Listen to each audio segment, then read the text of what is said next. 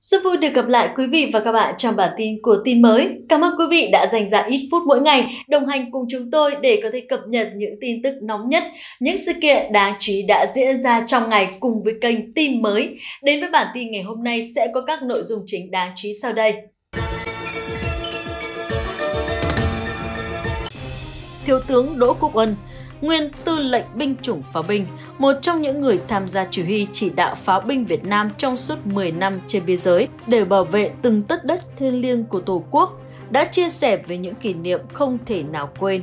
Tháng 2 năm 1979, nhà cầm quyền Trung Quốc những tưởng huy động 60 vạn quân cùng nhiều xe tăng thiết giáp, pháo binh, ồ ạt tấn công trên toàn tuyến biên giới phía Bắc sẽ nhanh chóng giành được thắng lợi. Thế nhưng họ đã nhầm Mặc dù tương quan lực lượng rất bất lợi vì đối phương quá đông, nhưng Việt Nam chỉ với công an vũ trang, bộ đội địa phương và một số đơn vị chủ lực của các quân khu biên giới đã kiên cường giáng trả quân xâm lược, gây cho chúng thiệt hại lớn cả về người lẫn vũ khí, trang bị. Quân đoàn 1, lực lượng dự bị chiến lược của ta lúc bấy giờ chưa cần xung trận, vẫn chiếm giữ các vị trí hiểm yếu xung quanh Hà Nội, Hà Nam Ninh.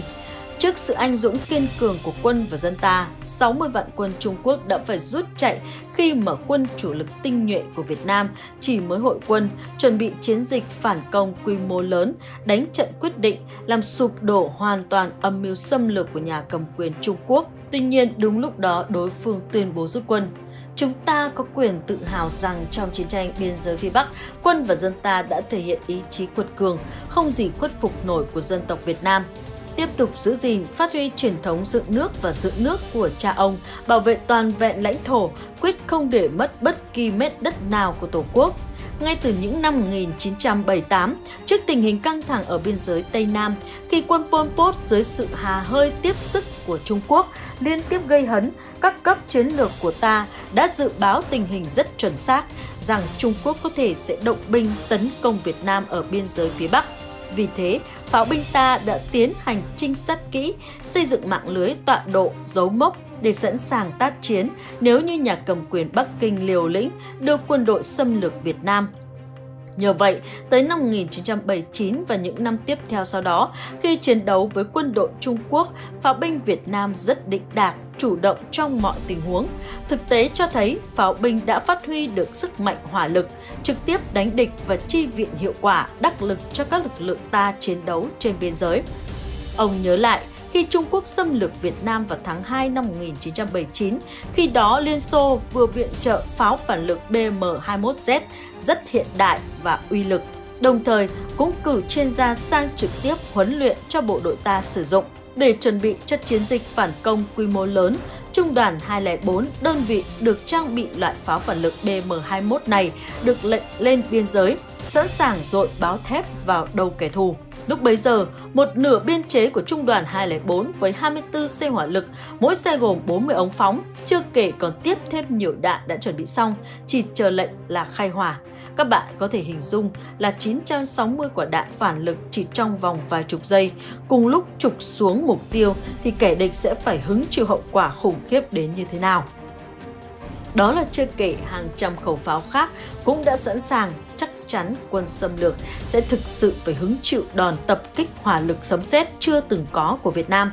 Ông trầm ngâm, đánh kẻ chạy đi chứ không ai đánh kẻ chạy lại. Khi họ đã rút, quân ta cũng không cần thiết phải đuổi cùng giết tận để gây thêm đổ máu, hận thù, thể hiện lòng hiếu sinh từ ngàn đời của dân tộc Việt Nam Mặc dù quân Trung Quốc xâm lược đã gây không biết bao nhiêu tội ác đối với nhân dân ta, mặc dù pháo phản lực BM-21Z sở hữu các tính năng kỹ chiến thuật cực mạnh, tuy nhiên trong chiến tranh hiện đại, chúng ta đang dần mất đi ưu thế cho các loại vũ khí tấn công sử dụng công nghệ cao. Vì vậy, yêu cầu nâng cấp hiện đại hóa tổ hợp pháo phản lực này trong quân đội ta đang trở nên cấp thiết hơn bao giờ hết, nhằm giúp BM-21Z có thể đáp ứng các yêu cầu tác chiến mới trong môi trường chiến tranh hiện đại.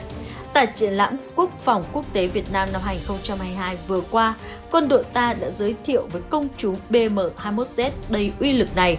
Chúng đã được nâng cấp và hiện đại hóa bằng những công nghệ có sẵn trong nước, mang đến một sức mạnh mới việc nâng cao y lực chiến đấu và khả năng cơ động cũng như độ chính xác cao trong một tổ hợp pháo phản lực sử dụng đạn rocket không điều khiển. được xem là bài toán khó đối với nhóm nghiên cứu cải tiến hiện đại BM21 thuộc Viện Cơ giới Quân sự. Thế nhưng, nhờ vào việc ứng dụng những thành tựu khoa học, công nghệ cao và trong thiết kế và chế tạo các phần tử chiến đấu mới cho BM-21Z, tổ hợp pháo phản lực này sau khi cải tiến đã đạt được nhiều bước đột phá về tính năng kỹ chiến thuật so với bản gốc. Nếu như trước đây việc thao tác lấy phần tử bắn trên BM-21Z được thực hiện thủ công, thì sau quá trình cải tiến này được tự động hóa hoàn toàn bằng máy tính trên cabin xe hoặc điều khiển từ xa bằng máy tính di động dạng vali sách tay sau khi có kết quả điều khiển tính toán lấy phần tử bắn, hệ thống sẽ tự động điều khiển cụm tầng hướng đưa giàn phóng về vị trí bắn.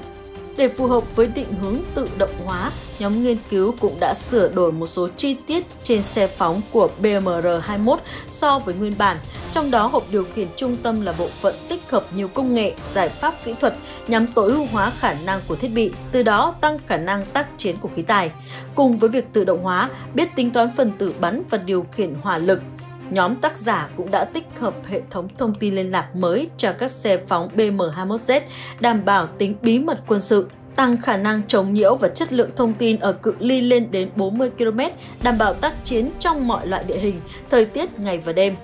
Từ khâu thiết kế, chế tạo, xây dựng phần mềm cho tới khối điều khiển nâng cấp cho BM-21Z đều do nhóm nghiên cứu của Viện Cơ giới Quân sự chủ động nghiên cứu và thực hiện. Các thành phần chiến đấu mới của tổ hợp đều đáp ứng các yêu cầu kỹ thuật khắt khe nhất do binh chủng pháo binh đề ra.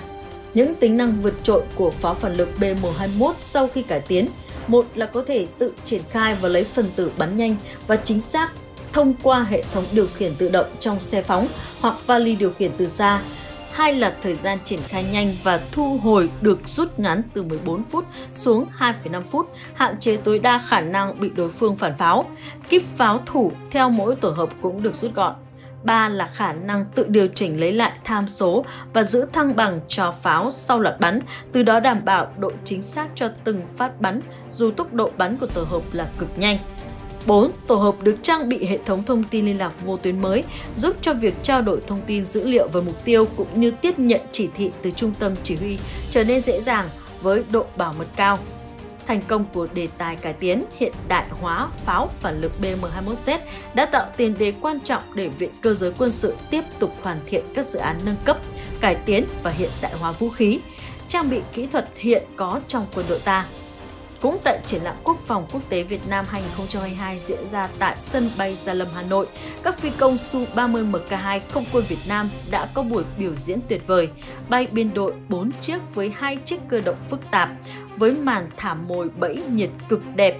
góp phần quan trọng vào thành công của sự kiện. Đây cũng là lần đầu tiên Su-30 Mk2 chính thức bay biểu diễn. Có được thành công này là nhờ sự khổ luyện của các phi công không quân Việt Nam. Họ đã thực sự làm chủ hoàn toàn hồ mang chúa trong cả công tác huấn luyện, sẵn sàng chiến đấu lẫn các nhiệm vụ khác. Được biết mới đây, những phi công thử nghiệm hàng đầu của tập đoàn Sukhoi, trong đó có Sergei Bodan, anh hùng Liên bang Nga đã sang Thọ Xuân và Biên Hòa trực tiếp huấn luyện bay đề cao cho các phi công mũi nhọn của không quân Việt Nam nhằm nâng cao kỹ thuật lái và ứng dụng chiến đấu. Sau này họ chính là những giáo viên bay truyền thụ lại những kinh nghiệm và bài hay mà các thầy Nga đã dạy cho lớp phi công trẻ. Trước đó, máy bay vận tải hạng nặng AN124-100 Rulan đã vận chuyển hai chiếc tiêm kích đa năng Su-30 Mk2 có số khung 88520 và 88521 sang bàn giao cho không quân Việt Nam. Đây là hai chiến đấu cơ cuối cùng nằm trong khuôn khổ hợp đồng mua sắm 12 chiếc máy bay loại này được ký kết giữa Việt Nam và Liên bang Nga từ tháng 8 năm 2013 với giá trị ước tính nằm trong khoảng từ 450 đến 600 triệu đô la. Như vậy, tính đến thời điểm hiện tại, Không quân Việt Nam đang có trong biên chế tổng cộng 36 chiếc Su-30 Mk2, 4 chiếc đầu tiên nhận vào năm 2004 và 8 chiếc tiếp theo trong giai đoạn từ năm 2010 đến năm 2011 và 12 chiếc Sơ Rằn Ri Xanh lá tiếp nhận trong năm 2010 thuộc đợt thứ ba. Ngoài việc vươn lên trở thành quốc gia có phi đội tiêm kích hạng nặng đông đảo nhất khu vực Đông Nam Á với 47 chiếc Ranger, bao gồm 11 chiếc Su-27SK cùng với 36 chiếc Su-30 Mk2, Việt Nam còn chính thức trở thành nước đang vận hành nhiều Su-30 Mk2 nhất thế giới. Cụ thể, không quân Venezuela đã mua 24 chiếc Su-30 Mk2, không quân Indonesia là 5 chiếc, 8 chiếc khác thì đang phục vụ trong không quân Uganda. Trong khi đó, không quân Trung Quốc PLA, lực lượng đứng đầu châu Á và thứ hai thế giới, mặc dù sở hữu 100 máy bay Su-30 nhưng cũng chỉ có 24 chiếc đột biến thể Mk2. Sau sự cố kỹ thuật chiếc Su-30 Mk2 số hiệu ta rơi, hiện nay không quân Việt Nam còn tổng cộng 35 hổ mang chúa, chia đều cho 3 trung đoàn gồm 923, 927, 935. Trong đó, Trung đoàn 923 có tên gọi truyền thống là Đoàn Không quân Yên Thế, đóng tại căn cứ sân bay Thọ Xuân, tỉnh Thanh Hóa, với nhiệm vụ trực sẵn sàng chiến đấu bảo vệ miền Bắc, duyên hải Bắc Trung Bộ. Trung đoàn 927 có tên gọi truyền thống là Đoàn Không quân Lam Sơn, đóng quân tại căn cứ sân bay kép của tỉnh Bắc Giang, có nhiệm vụ trực sẵn sàng chiến đấu bảo vệ miền Bắc. Riêng Trung đoàn 935 có tên gọi truyền thống là Đoàn Không quân Biên Hòa, đóng tại căn cứ sân bay Biên Hòa, tỉnh Đồng Nai, với nhiệm vụ bảo vệ vùng trời phía Nam và chi viện cho biển đảo, mà trọng tâm là bảo vệ quần đảo Trường Sa. Đồng thời, đơn vị này cũng là cái nôi đào tạo phi công Su-30 Mk2 của Không quân Việt Nam. Hầu hết các phi công trẻ vừa tốt nghiệp trường sĩ quan không quân trên máy bay huấn luyện phản lực L-39 và tới đây là thêm cả Yak 130 cũng đều được đào tạo trên máy bay tiêm kích Su-30 Mk2 tại đây.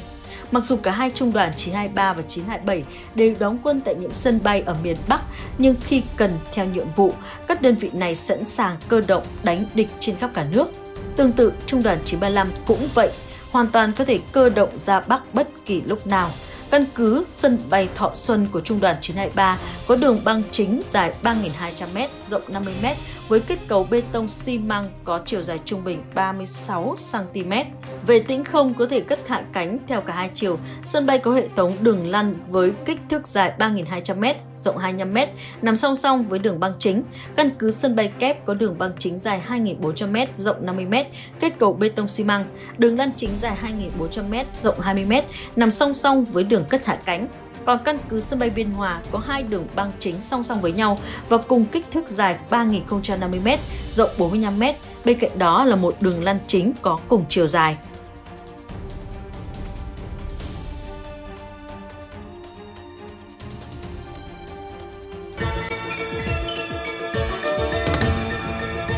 Tin vừa rồi cũng đã kết thúc chương trình ngày hôm nay của tin mới. Cảm ơn quý vị và các bạn đã chú ý theo dõi. Mọi ý kiến đóng góp của quý vị hãy để lại trong phần bình luận video này để chúng tôi có thể kịp thời giải đáp giúp quý vị. Còn bây giờ, xin chào và hẹn gặp lại!